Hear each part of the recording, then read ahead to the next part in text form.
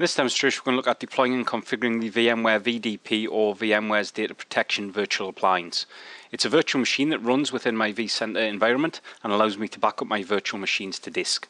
And what we're going to do here is I've already downloaded the OVA file required for the deployment. So I've just come into my web client. It's going to right click at this point here and I'm going to deploy an OVF template. We'll just browse through here, find the file required, so it's an OVA and it is our vSphere data protection OVA. We'll select open here and then select next. Right, we'll just review everything.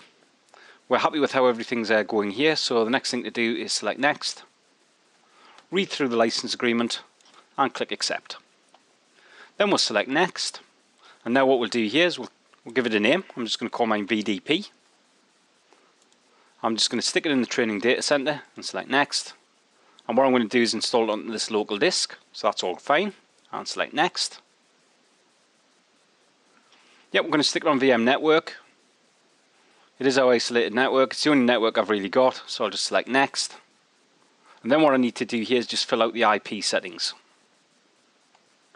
Right so we've entered in all the IP settings so we'll select our next button. We throw a summary and what I'm going to do is power it on after deployment and select finish so as we can see now, it's going away. It's actually deploying that virtual machine. This will take a little while for it to deploy it. It is a, quite a big virtual appliance.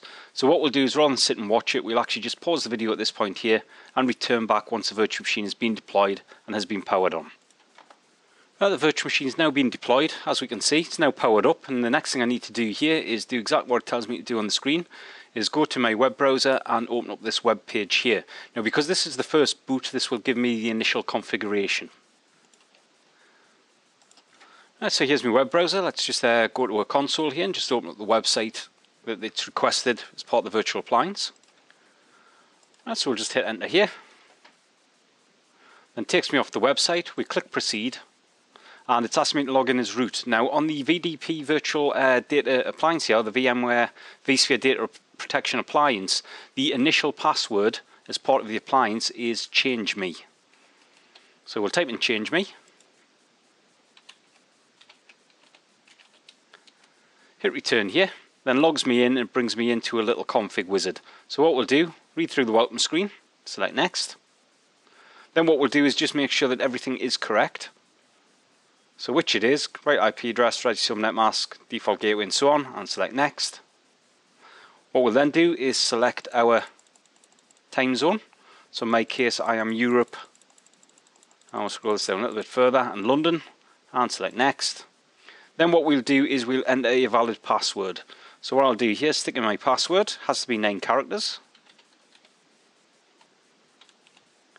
And then requires a, uh, a number in there as well. Then we just need to re-enter the password.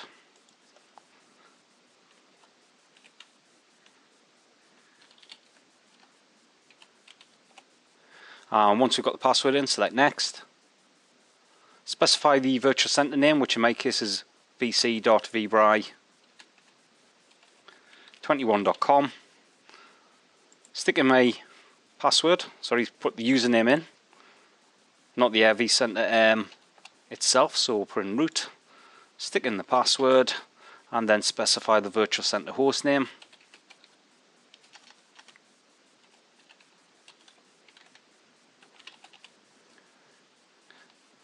Specify the port number, specify the SSO host name which is the same as my virtual center server because it is the virtual appliance I'm using.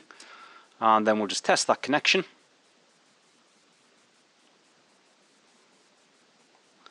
It's come back everything's completed successfully so we'll click OK now, select next again. And then it's just telling us here that we'll have to do a system reboot so we'll just select finish here, click OK.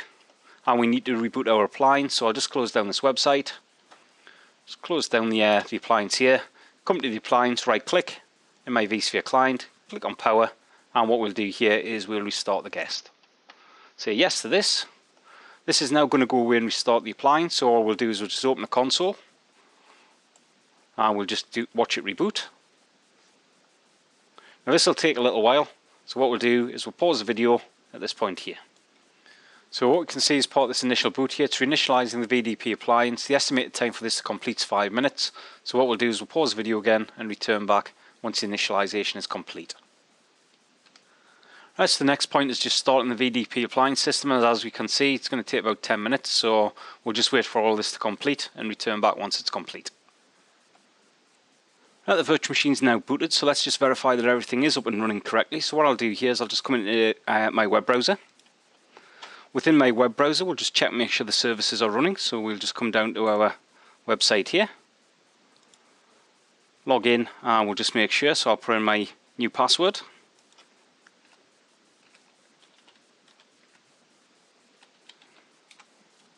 And this will just launch up the admin page for the VDP appliance.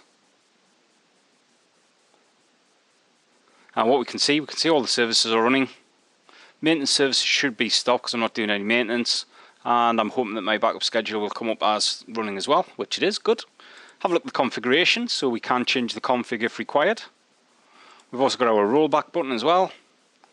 So just so we can roll back the repository backups and we have the ability to do a, a in-application upgrade as well. So the next thing to do is just make sure that the plugins have now been installed into our web client.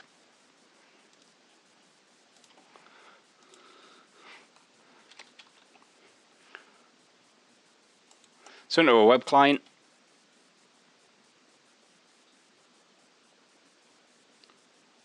And then all we'll do, just log in as root. Stick in our password. And what we're looking for here is we're looking for the plugins have been installed. And they have indeed been installed. So if I click on my vSphere Data Protection, all we'll do here is connect through to our virtual appliance. And as we can see, we now have the ability to do backups, restores, get reports, and mess about with configuration. So that is the deployment and configuration of my vSphere data protection. All in all, I know I paused the video quite a few times as we worked through that. To deploy that virtual appliance took about 30 minutes. And that's the end of this demonstration. Thanks very much.